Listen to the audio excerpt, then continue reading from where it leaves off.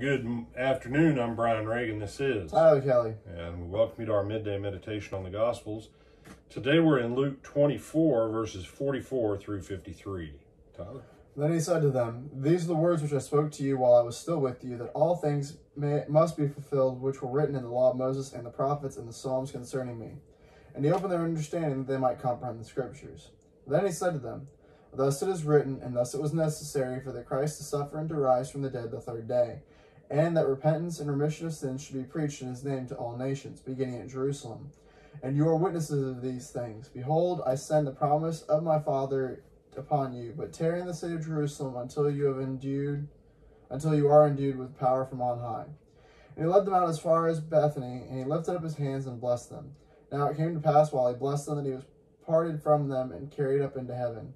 And they worshipped him and returned to Jerusalem with great joy, and were continue continually in the temple praising and blessing God. Amen. Amen.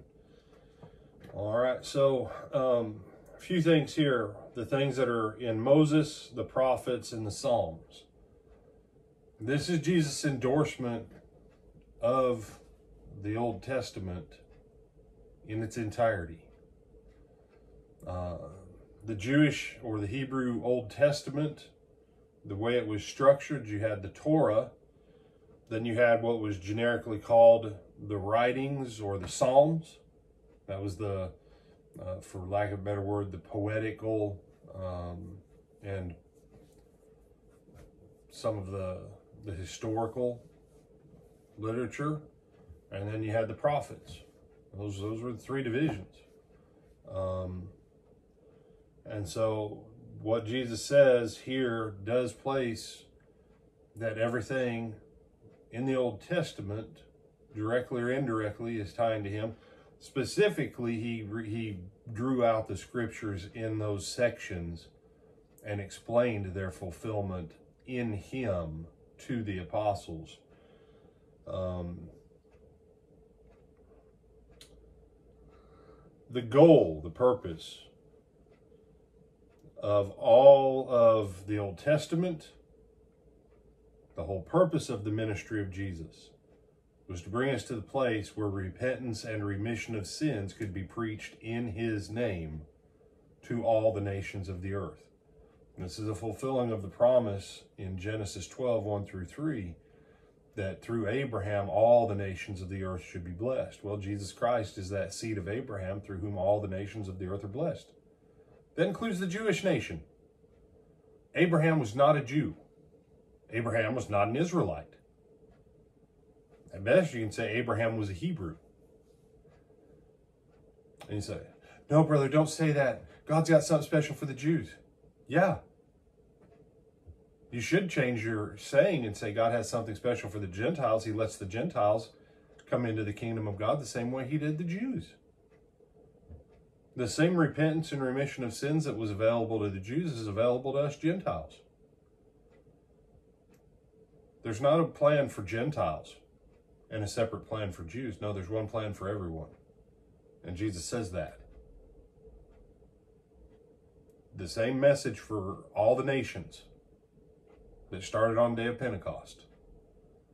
And Peter said, what next? 238. Do you remember, Tyler? Uh, Peter replied, Repent and be baptized, every one of you, for the forgiveness of your sins. For the remission of your sins. So wait a second. He said, what? Repent? hmm And be baptized. For the... Remission of your sins. And what city were they in? Jerusalem. Yeah, Acts chapter 2, 1 through 4. When the day of Pentecost was fully come, they were all with one accord in one place. Well, Acts chapter 1 tells us they went in Jerusalem and they spent nine days in prayer, waiting for the power of the Holy Ghost to come on them to proclaim the word. Which is exactly what Jesus says here, that they were supposed to do. They were supposed to wait in Jerusalem till they received power so that they could proclaim repentance and remission of sins in his name. Jesus was a Jew. Jew. Peter and all the apostles were. Also Jews. Mary and the women were. Still Jews. And the entire crowd on the day of Pentecost, who was there for the Pentecost celebrations, 50 days after the Passover, were all. Jews.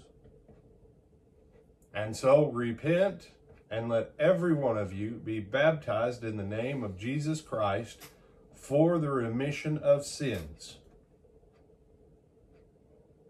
That's how Jews get saved.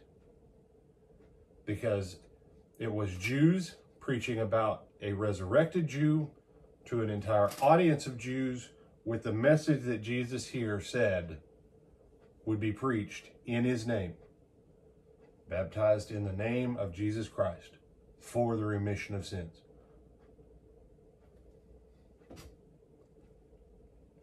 It's the only way to be saved, y'all. It's the only way to come into the kingdom. It was that way for Jews then, it's that way for Jews now. There's not a separate plan. That was the plan given by a Jew to his Jewish apostles, preached to a Jewish audience in a Jewish temple in a Jewish capital city on a Jewish high festival day. The very first message preached ever about Jesus as the resurrected Christ and Lord. And he just happens to be gracious enough to let that be the message that goes to all nations, not just Israel. But that's how we all get saved.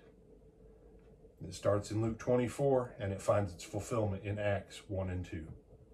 Anything else you want to add? No, sir. Brian Reagan, this is. Tyler Kelly. We bid you good afternoon.